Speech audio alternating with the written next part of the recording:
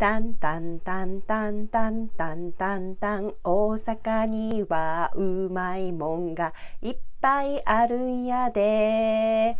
たこ焼き餃子お好み焼き豚まん。タンタンタンタンタンタンタンタン大阪にはおもろいもんがいっぱいあるんやで。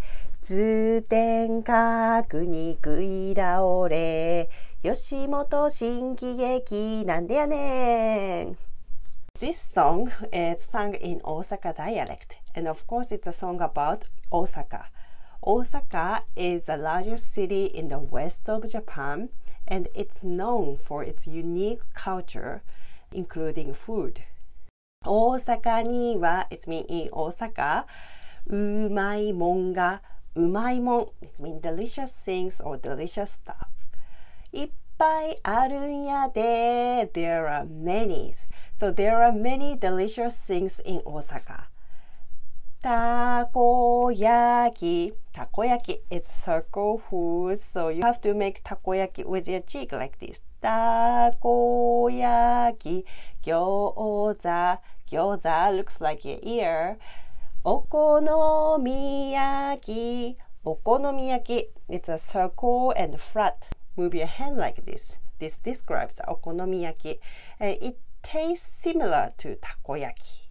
And 豚まん。豚まん is mean pork buns. 大阪にはおもろいもんがいっぱいあるんやで。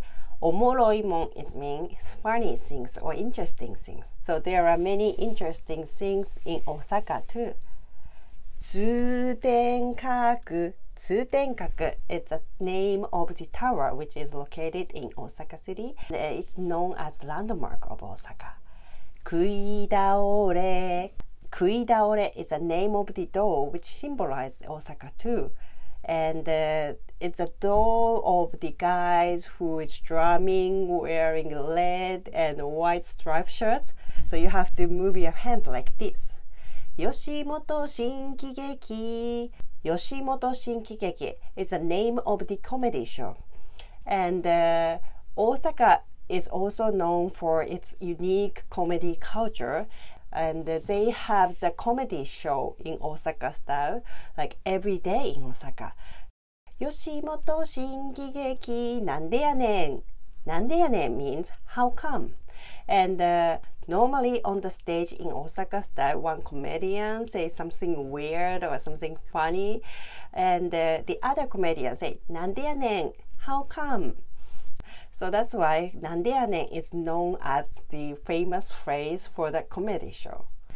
タンタンタンタンタンタンタンタン大阪にはうまいもんがいっぱいあるんやで There are many delicious food in Osaka. For example, たこ焼き餃子お好み焼き豚まんポークパンタンタンタンタンタンタンタンタン大阪にはおもろいもんがいっぱいあるんやで So there are many interesting stuff in Osaka For example, 通天閣、通天閣 Tower and 食い倒れ、吉本新喜劇。なんでやねん。